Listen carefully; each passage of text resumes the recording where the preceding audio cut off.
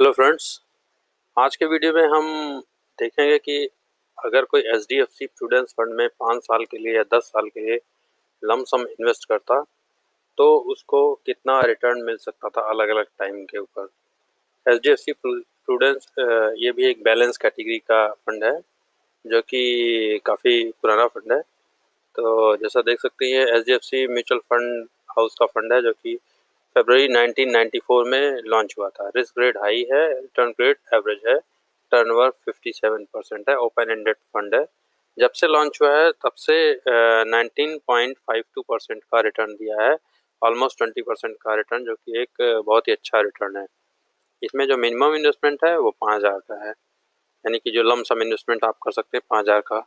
उसके बाद एडिशनल एक हज़ार या उसके मल्टीपल में आप इन्वेस्टमेंट कर सकते हैं। एस आई पी इसमें पाँच सौ से स्टार्ट कर सकते हैं।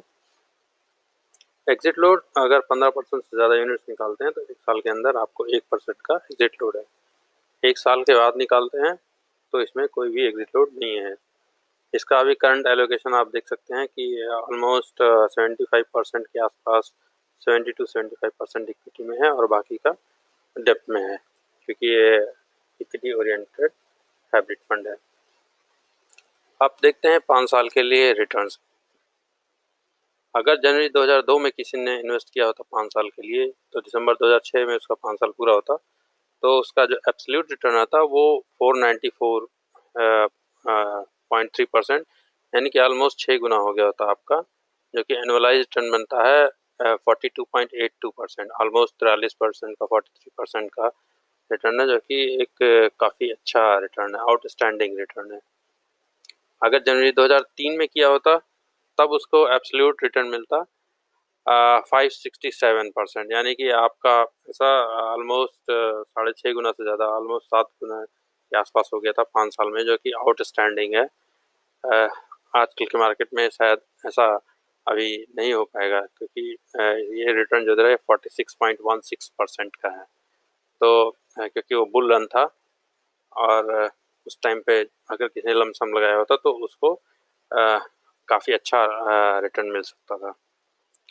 इतना अगर किसी ने जनवरी 2004 में लगाया होता तो दिसंबर 2008 में पूरा होता, उसका एब्सोल्यूट रिटर्न 101 परसेंट। पीछे, इसके कंपेर पीछे के कंपैरिजन में एक साल में देखिए कितना ज़्यादा डिफरेंस आ गया है।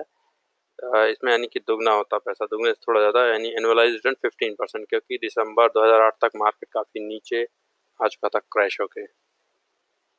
जनवरी 2005 में अगर किसी ने लमसम लगाया होता तो दिसंबर 2009 में उसको 198 परसेंट का एब्सोल्यूट रिटर्न मिलता, यानी एनुअलाइज रिटर्न 24 परसेंट का 24.42 ऑलमोस्ट साढ़े चौबीस परसेंट।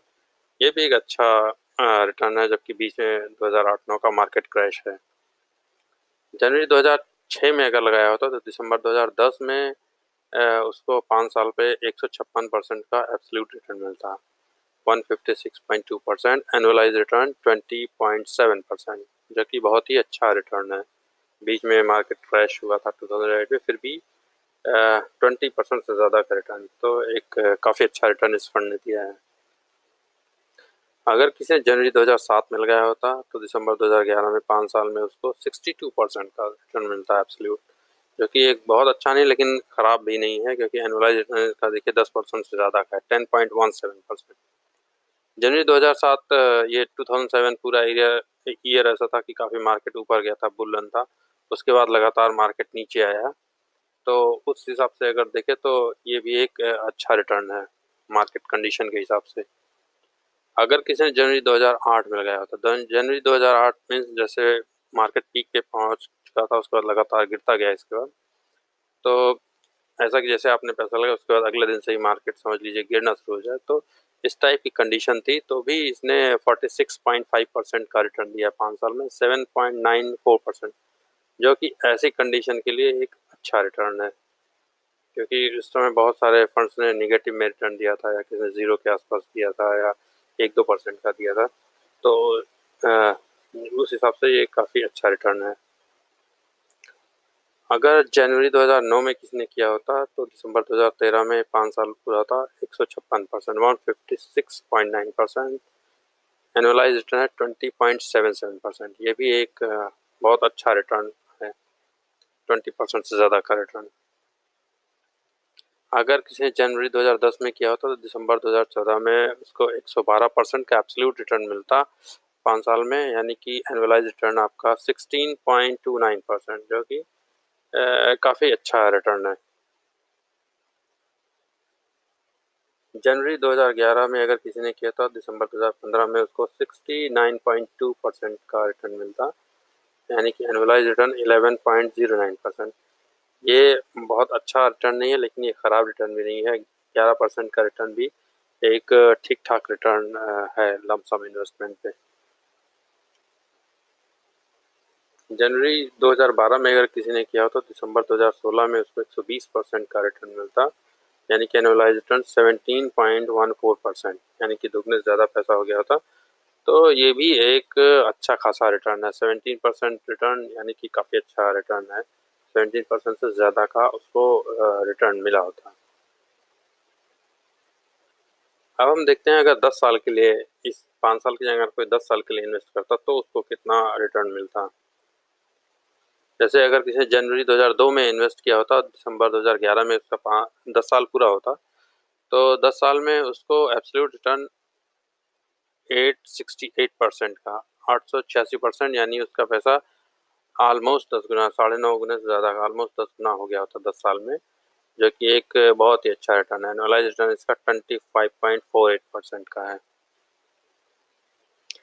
अगर जनवरी 2003 में किया होता किसी ने तो दिसंबर 2012 तक उसको 897.7 परसेंट का एब्सोल्यूट रिटर्न मिलता है। यानी ऑलमोस्ट दस गुना उसका पैसा हो गया होता है एनुअलाइज रिटर्न 25.86 परसेंट है।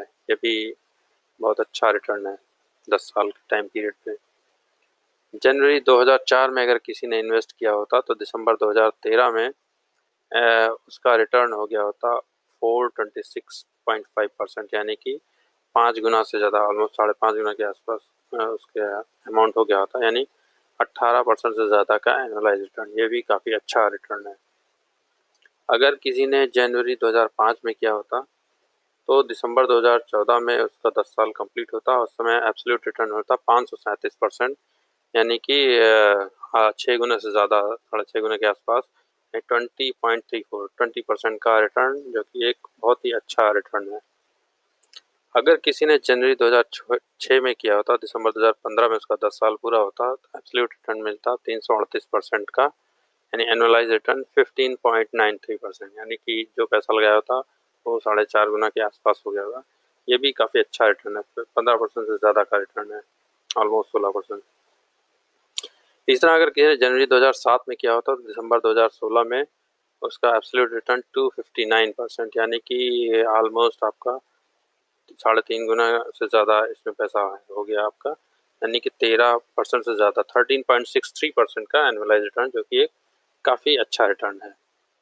तो समरी क्या है कि H D F C Prudence fund ने पाँच साल या उससे ज़्यादा के लिए इन्वेस्टमेंट पे लम सम इन्वेस्टमेंट पे कभी भी निगेटिव रिटर्न नहीं दिया है। इवन 2008 का जो क्रैश था मार्केट क्रैश उसके बावजूद यानी किसी भी मार्केट कंडीशन में अगर किसी ने लमसम इन्वेस्ट किया है तो बेस्ड ऑन मार्केट कंडीशन उसका पाँच साल में रिटर्न कम या ज़्यादा हो सकता है, लेकिन निगेटिव नहीं हुआ है।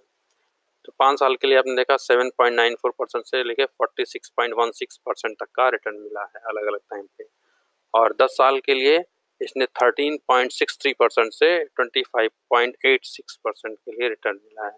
इसका मतलब जब भी आपको पाँच साल से ज़्यादा, जैसे सात साल, आठ साल, दस साल के लिए इन्वेस्ट करना है तो आप किसी भी मार्केट कंडीशन में एक अच्छे बैलेंस फंड में लमसम इन्वेस्टमेंट कर सकते हैं, क्योंकि आप देखें कि दस साल के टाइम इंटरवल पे मिनिमम इन्वेस्टमेंट वो भी ऑलमोस्ट चौदह परसेंट के आसपास दिया है। तो हिसाब से अगर आपका टाइम अर्जिन थोड़ा ज़्यादा है तो आप किसी भी बैलेंस फंड में लमसम इन्वेस्टमेंट कर सकते हैं। अगर ये वीडियो पसंद आया हो तो लाइक करें और अपने फ्रेंड्स के साथ इसको शेयर भी करें।